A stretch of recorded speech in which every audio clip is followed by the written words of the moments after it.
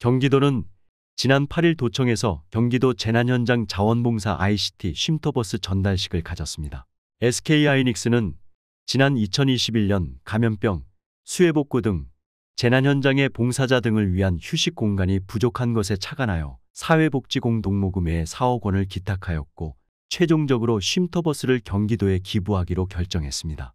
차량 내 종합상황실에는 재난 상황실과 직접 소통을 위한 화상 회의 공간이 마련되어 있으며 스마트 안전 시스템과 연계해 자원봉사자의 건강 상태를 점검할 수 있습니다. 자원봉사자들은 활동 시 손목에 스마트 밴드를 착용해 심박수, 체온, 쓰러짐 여부 등이 실시간으로 측정됩니다. 건강에 이상이 발생할 경우 즉시 쉼터버스로 이동해 조치를 취할 수 있습니다.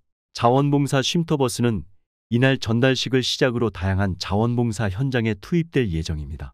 재난 시에 이재민과 자원봉사자를 위한 쉼터로 운영하는 데 그치지 않고 평상시에도 농촌 일손 돕기, 취약계층 지원 등 자원봉사 현장과 혹서기 혹한기 도민을 위한 이동 쉼터로 활용하는 등 도민 맞춤형 서비스를 지원할 계획입니다.